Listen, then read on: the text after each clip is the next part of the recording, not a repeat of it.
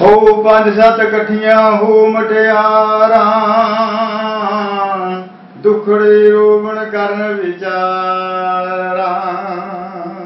ਉਹ ਪਹਿਲੀ ਕਹਿੰਦੀ ਹਾਲ ਸੁਣਾਵਾਂ ਗਿਲੀਆਂ ਪਾਥੀਆਂ ਅੱਗ ਮਚਾਵਾਂ, ਸਿਖਰ ਦੁਪਹਿਰੇ ਰੋਟੀਆਂ ਲਾਵਾਂ, ਖਾਵਣ ਰੋਟਾਂ ਵਾਲੇ ਨੀ। ਸੱਸ ਮੇਰੀ ਨੇ ਜੰਮੇ 12 ਕਰਮਾਂ ਵਾਲੇ ਨੀ। ਉਹ ਦੂਜੀ ਕਹਿੰਦੀ, ਸੁਣੋ ਕਹਾਣੀ, ਨੀ ਮੈਂ ਖੂਹ ਤੋਂ ਭਰਦੀ ਪਾਣੀ, ਮੇਰੀ ਸੱਸ ਕਸਮਾਂ ਨੂੰ ਖਾਣੀ ਹੁਕਮ ਚਲਾਉਂਦੀ ਰਹਿੰਦੀ ਐ। ਮਜ ਵਰਗੀ ਐ, ਮੋਟੀ ਢਿੱਡ ਹਲਾਉਂਦੀ ਰਹਿੰਦੀ ਐ। ਉਹ ਤੀਜੀ ਕਹਿੰਦੀ, ਕੀ ਮੈਂ ਦੱਸਾਂ, ਭੈਣੋ ਕੀ ਰੋਵਾਂ, ਕੀ ਹੱਸਾਂ, ਨੀ ਮੈਂ ਕਿਹੜੇ ਪਾਸੇ ਨਸਾਂ, ਆਉਂਦੀ ਸ਼ਰਮ ਬਥੇਰੀ ਐ। ਬਾਪੂ ਕਹਿੰਦਾ, ਖੀਰ ਬਣਾਓ, ਕੁੱਤੀ ਕਰੇ ਲਵੇਰੀ ਐ।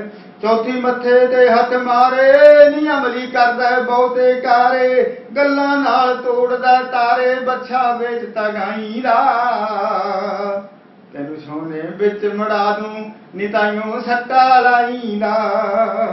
ਪੰਜਵੀਂ ਕਹਿੰਦੀ, ਗੱਲ ਹੈ ਮਾੜੀ, ਬਾਪੂ ਕਾਲੀ ਕਰਦਾ ਦਾੜੀ। ਬੇਬੇ ਕਹਿੰਦੀ, ਲਾ ਕੇ ਸਾੜੀ ਅਸੀਂ ਬਠਿੰਡੇ ਜਾਵਾਂਗੇ।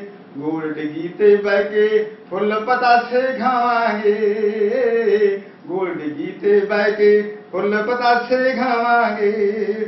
ਉਹ ਛੇਵੀਂ ਕਹਿੰਦੀ, ਨਰਦ ਕੁਮਾਰੀ ਕਰਦੀ ਵਿੱਚ ਦਰਾਂ ਫੁਲਕਾਰੀ। ਰੱਖਦੀ ਨਾਲ ਮੇਰੇ ਹੈ ਖਾਰੀ, ਫੁੱਲ ਨਾ ਕੋਈ ਪਾਉਂਦੀ ਐ।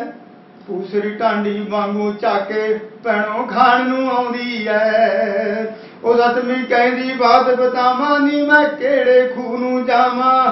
ਕਿੱਥੋਂ ਅੰਨ ਖਾਣ ਨੂੰ ਲਿਆਵਾਂ, ਘਰ ਵਿੱਚ ਹੈ ਨਾ ਦਾਣੇ ਨੀ। ਨੀ, ਉਹ ਫਿਰੇ ਕਵੀਸ਼ਰ ਬਣਿਆ, ਭੁੱਖੇ ਮਰਨ ਨਿਆਣੇ ਨੀ। ਨੀ, ਉਹ ਫਿਰੇ ਕਵੀਸ਼ਰ ਬਣਿਆ, ਭੁੱਖੇ ਮਰਨ ਨਿਆਣੇ ਨੀ।